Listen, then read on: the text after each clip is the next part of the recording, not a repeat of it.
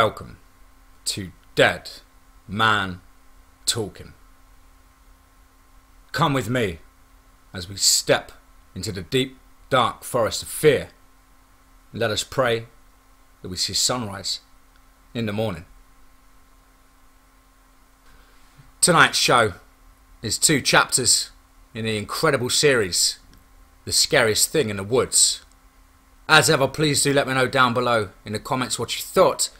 Please do like and share, and don't forget to hashtag Team Fear and help build this community and channel. Big, big welcome to all of you brand new subscribers. I hope you enjoyed the channel as it is so far and everything that I produce. Do take a time to check out the playlist section where you'll find things a bit more organised in terms of what's the true encounters, uh, the true subscriber stories, and then the fictional work as well.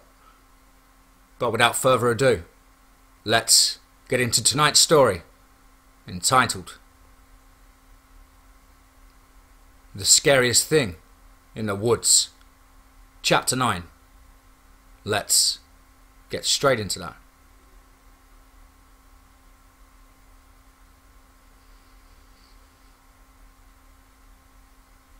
I have said I was built for the cold, but up here, it is so cold it jars you down to your bones. We are moving at a good clip, though I estimate that we are only a few miles from our quarry. The unique thing is our party seems to have grown by one. The Waheela is flanking us, about a hundred yards out. I normally understand the behaviour of wolves, but not this time. I don't know if he's just interested in the upcoming fight, or he plans on joining it, and if he does, which side? I want to finish this as fast as possible. I check my weapons. They have not frozen up, which is good. I have a clip left with the explosive copper rounds, but that works only sometimes. I hope Tom was able to have them fabricated professionally. What a bonus they would be in the upcoming fight. Am I kidding? What a bonus they would be in this fight. I think about that poor Mountie that was killed. How easily that creature run up and hit him, and then just devoured him. To be honest, I or Tony are not very keen on finding out either. Now I think that my quarry is closer. Now maybe at the top of that rise, I'll be able to sight it and get a shot. I pray that I can end this fight in one shot. At the top of the snow-covered rise, I see my target moving towards Fort Reliance. I judge the distance right at a thousand yards. I set up to fire. The first shot missed, though barely. It strikes the bank just to its left. The creature stops and turns towards us. It lets out a large roar and starts then towards us. I ease and let out my breath and squeeze the trigger. Another miss, but close. I curse my luck and wonder if it's the cold or these rounds that have my aim off. I look through my scope at it, about 900 yards off now. This thing is easily the most grotesque thing I've ever seen, and that's saying something. It's about 10 feet tall, loose fitting shaggy white, it looks like the skin is just hanging off it. It doesn't have a face and it's just kind of like an elk skull, with tattered flesh and horns. It looks at us with glowing red eyes. I reset my scope dials and zero in. 800 yards out. My third shot is not only a hit, but it actually explodes, and its shoulder looks torn up pretty bad. Two special rounds left. As I eject the last round, it's 700 yards out. I take in a breath, hold it, sight my mark.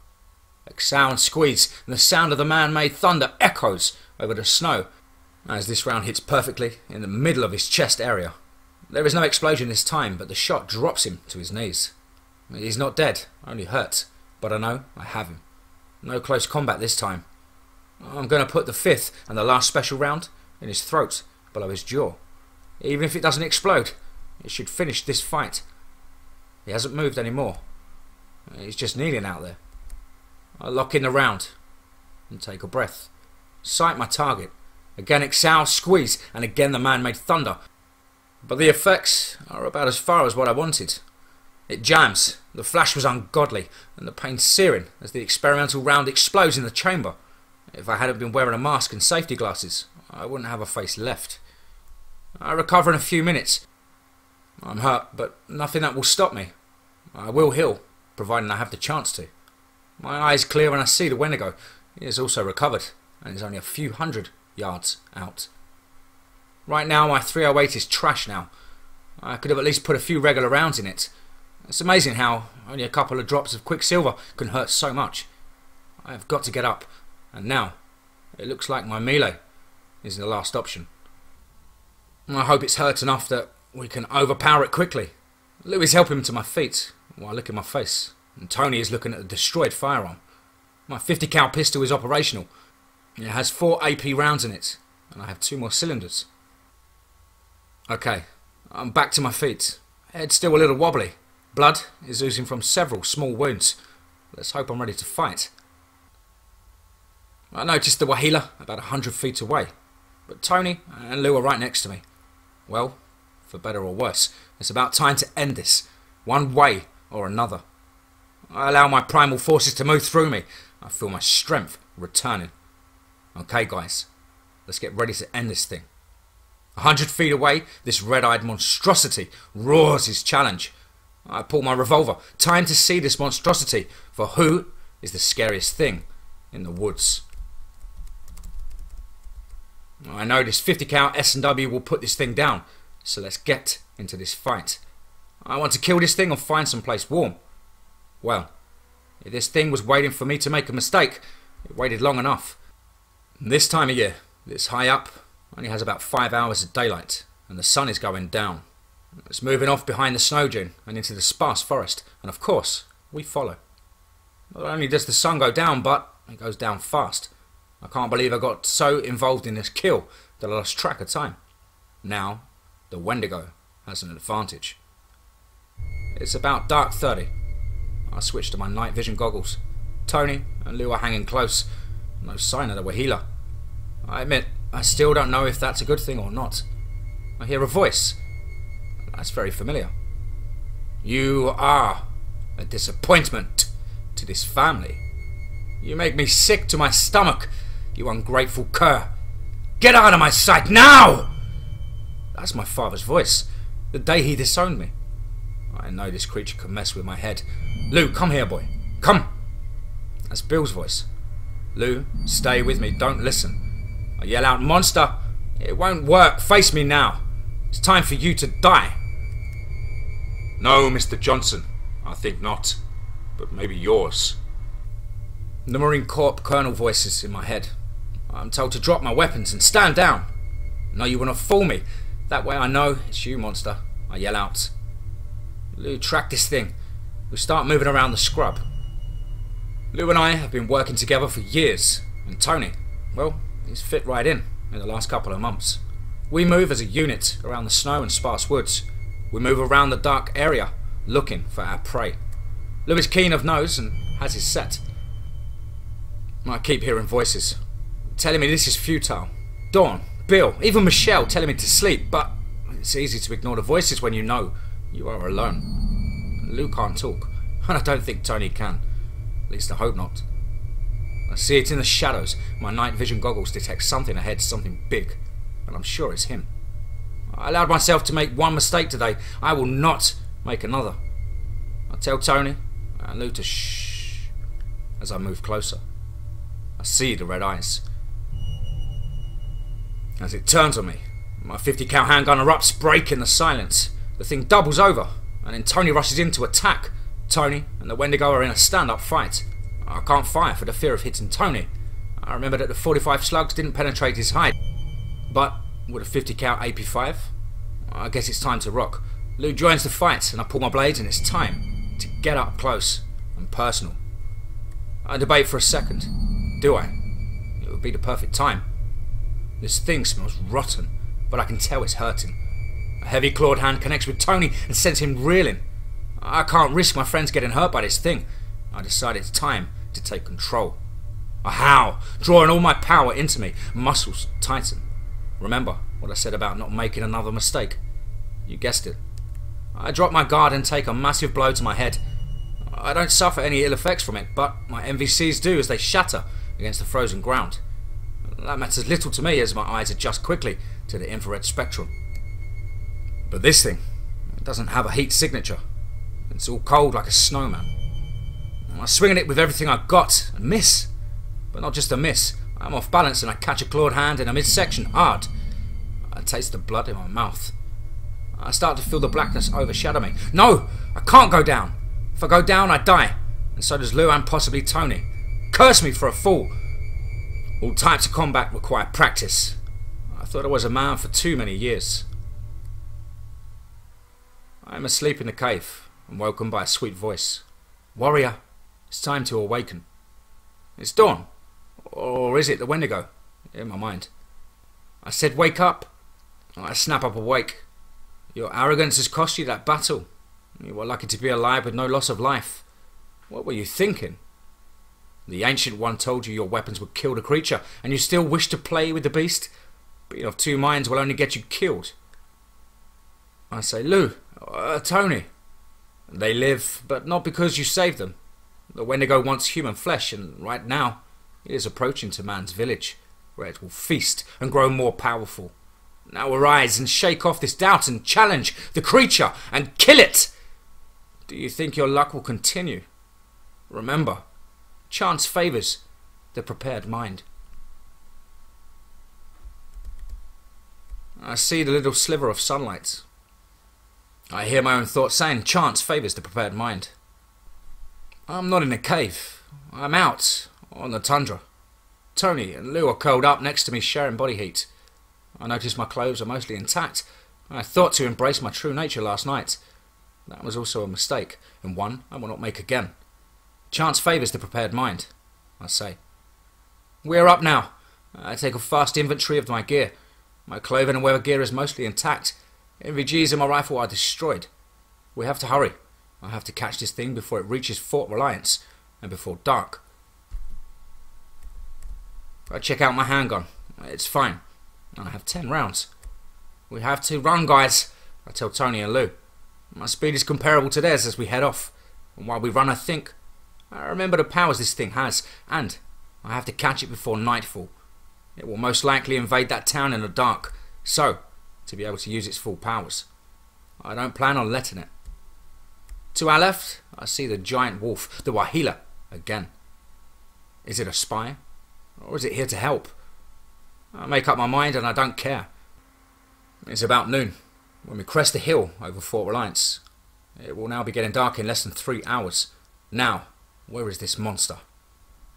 I see a group of scrub spruce a couple of hundred yards away, and the Waheela is heading that direction. I'm not overthinking this time. I am a hunter, and this is my prey. I see a tundra cave, and I know my hunt is over.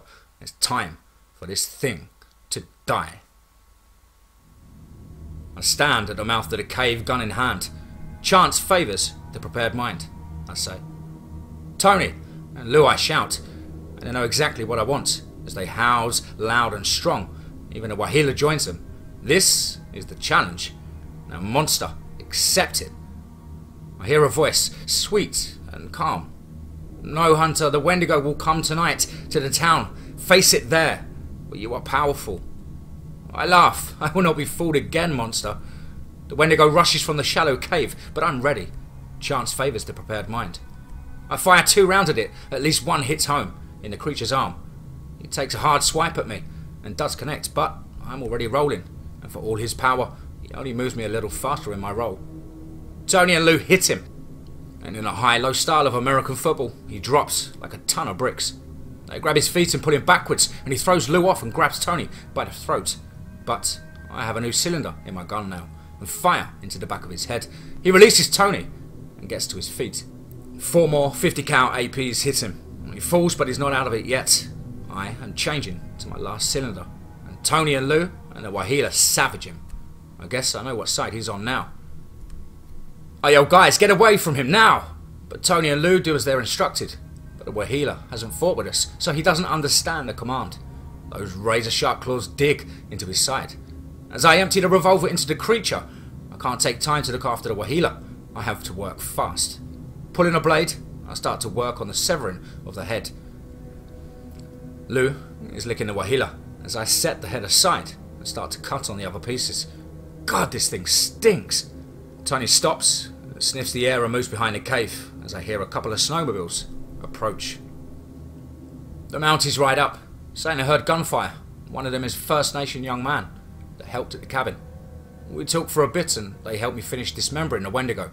They are wise to the way of the spirit, so they don't question, they just help. They pause at the dying form of the Waheela, and they both start to sing a death song. At that point, I would not have believed it if I had not seen it with my own eyes. As the creature passed from this world to the next, its spirit's form became tangent and stepped out and into Lou. There will be no living with that wolf now. We pack the head of the Wendigo and tell the Mounties I have to bury it in a sacred place. They both understand. One tells me that I am welcome with the Inuits, but my country still considers me a wanted man. I nod my head and say it matters little. I have to return. I leave and we start across the tundra to the Great Bear Lake. Time passes quickly, much more quickly than the trip out here, and when we reach the cave, there is food and warmth. We bury the head of the Wendigo and take a few days to rest and eat and get our strength back. I sleep and I dream. The Ancient One speaks to me, and so does Dawn. I will not make these mistakes again. I am Jim Johnson, Hunter. I am much more than most will ever know, but only I can control my destiny. I will not be caught lacking again. I may be the scariest thing in the woods, but chance favours the prepared mind.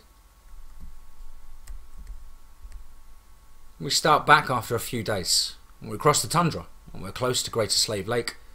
I have no clue how long we have been out there.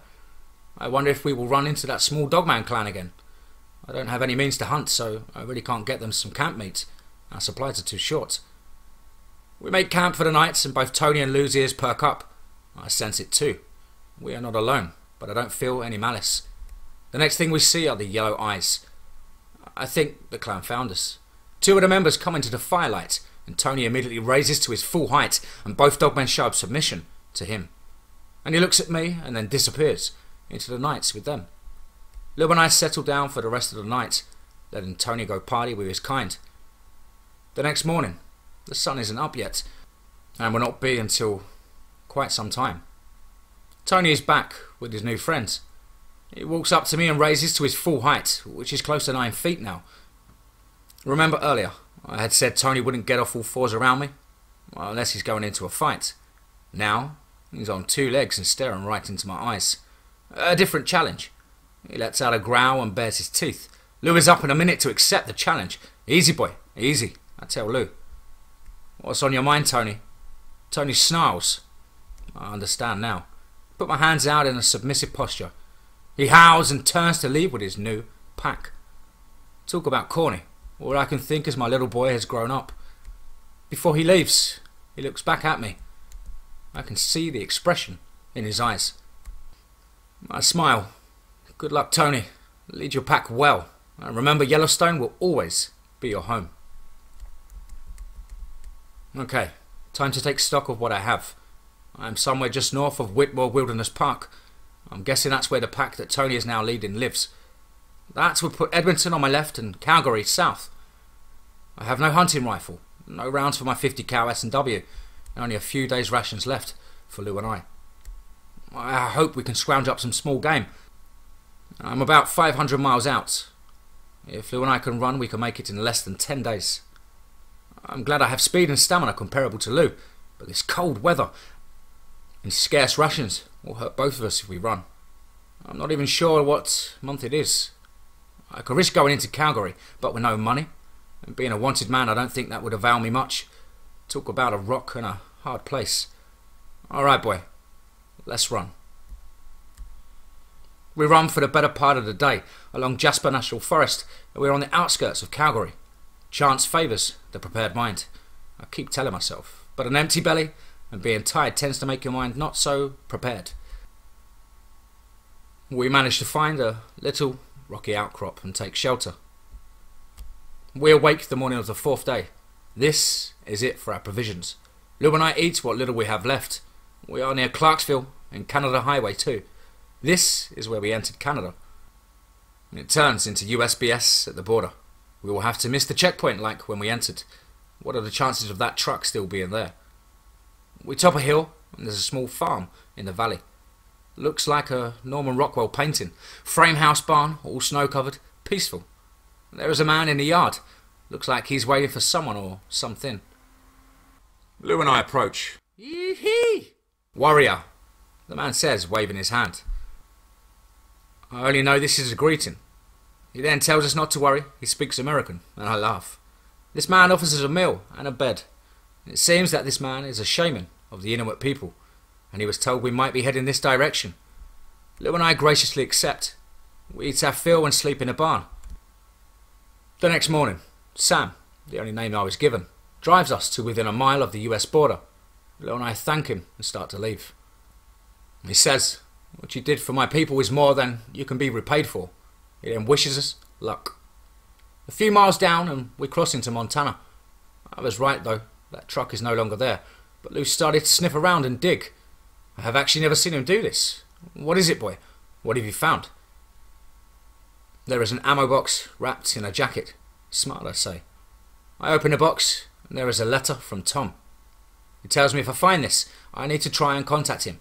And there is a number, and $200 in the box. Also, that Bill was talking to people to try and get me unwanted. Okay, I have no phone, but at least I know this area. It's mid January and colder than I care to be out in.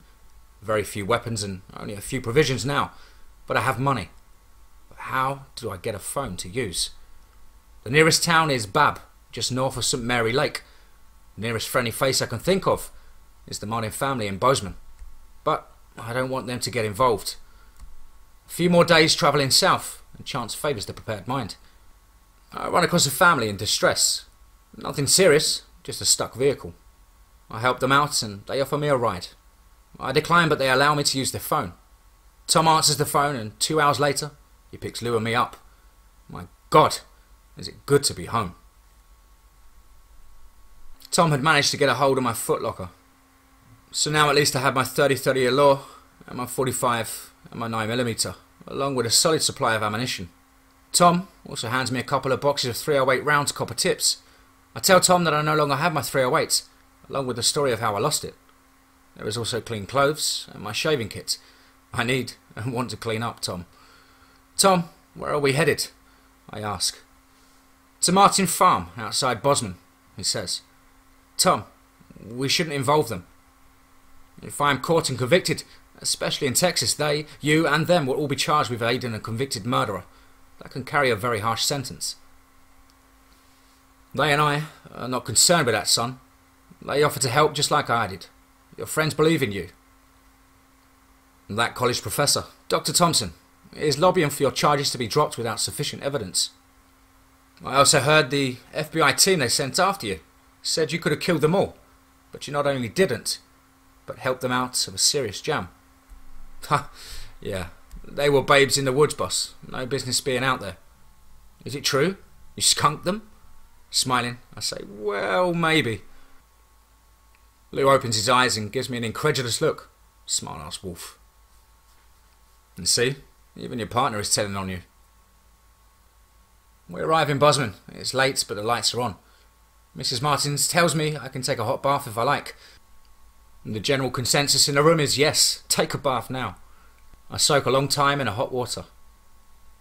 I had forgot what my body being warm felt like.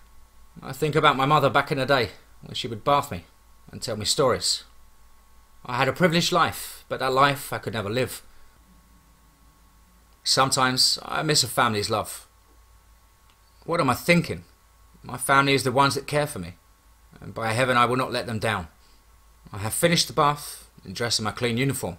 It's all I have, though I'm not a ranger any longer.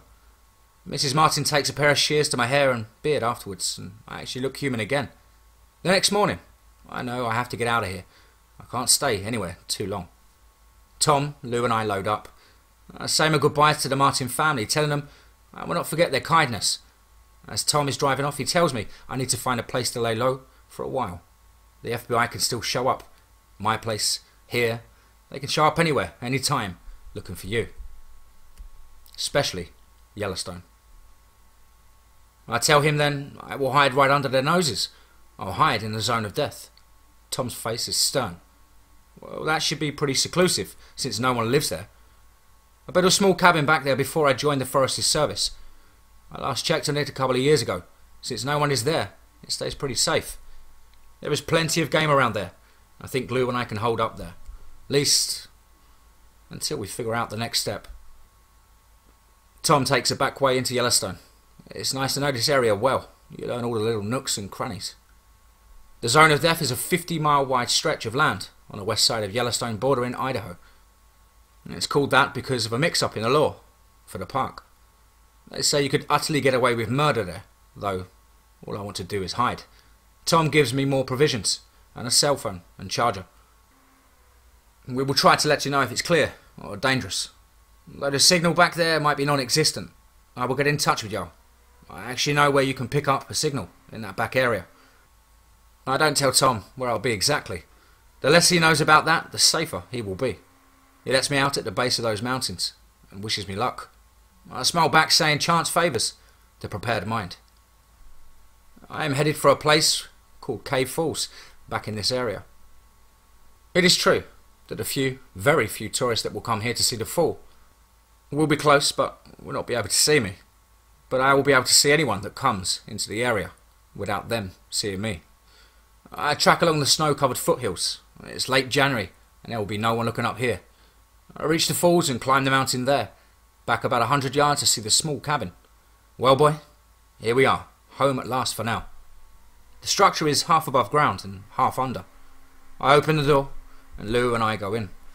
I start a fire and the fireplace, and this place is very Spartan. Along with the rock fireplace, there is a cooking stove, a bed, couple of chairs, and a table. Lou jumps on the bed. I say, Guess again, dog. He just gives me that same superior look. I said there would be no living with him now. My eyes fixed on the last fixture in the cabin, and the only piece of refinement I possibly own. Part of me is glad to see it here, while the other part wishes someone had found and stolen it. But like it or not, it is my past, my present, and regrettably, my future.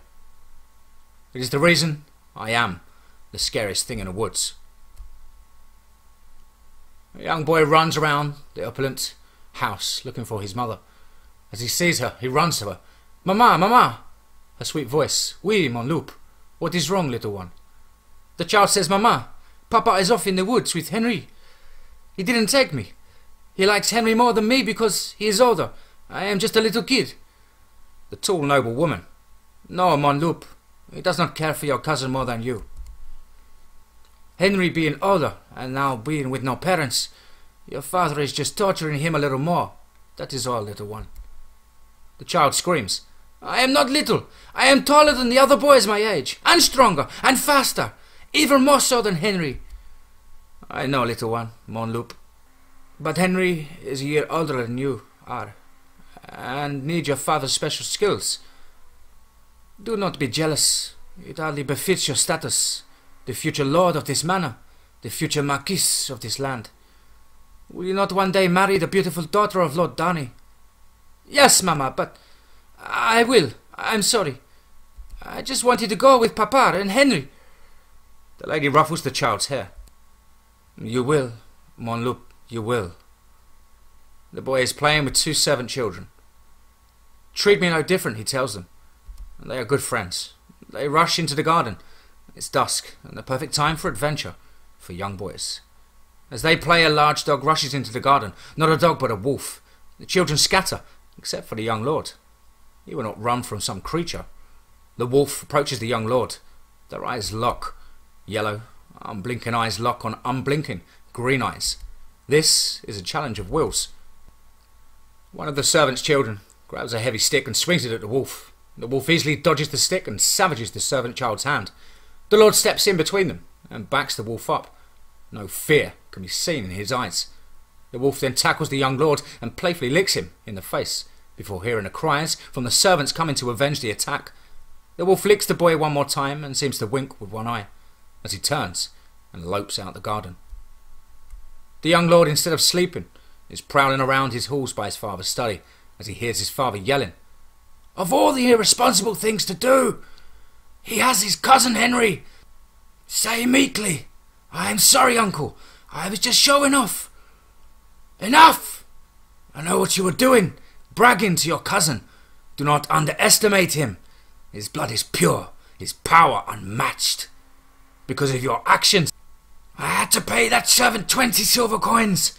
for what you did to his son, and I will also have to now employ a cripple when he becomes of age. My cousin shouts again. I'm sorry, uncle. The sounds of the beating after that are terrible. As he hears Henry whimpering, he softly says, Do not cry, my cousin, for he will only beat you harder. Mama, my cousin Henri, he turned into a wolf. I know you said being jealous is beneath me, but I want to be a wolf too. Do not worry, Mon Loup. Give it time, and you will be the most powerful wolf of all. I love this area of the park.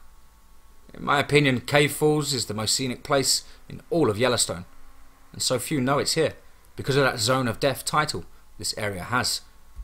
The water doesn't freeze in the falls because of the hot springs, but it isn't too hot. Plenty of game here also. I spot a mule deer and one well placed shot later. Lou and I have camp meat for at least two weeks. So, I am worried though. I am out in the open on this mountain, and if the feds still want me that bad, they are most likely trying to get a satellite reading on me. Or hopefully, they think I'm still in Canada. Hopefully, to them, it would be foolish for me to even return to Yellowstone. So I hope hiding under their respective noses is a good idea. I searched the area for any signs of anything out of the norm. No people. Of course, not this time of year. No predators to speak of. Bears, coyotes. There are no cats either, though I will not rule out a puma or lynx. I admit to myself, I don't know what the signs are for Bigfoot or Dogman. If Tony were here, he would be able to sense them. I hope he's doing okay in his new life. I admit, I do miss the old dog somewhat. Wow, fantastic stuff, Jim. Thank you so much for putting in this dedication and effort and just absolutely fantastic creative writing. Keeps you on the edge of your seat the whole time. I just hope I do the story enough justice. As ever, guys and girls, please do let me know down below in the comments what you thought. Please do like and share and help build this community and channel. And of course, don't forget to hashtag Team Fear. Big, big thank you to all of you for your wonderful, wonderful comments and, and emails and DMs of support. Uh, really, really does help me day to day on my depression and struggles in life. I hope you're all well and happy yourselves. And as ever, guys, above all, please remember be safe, not sorry.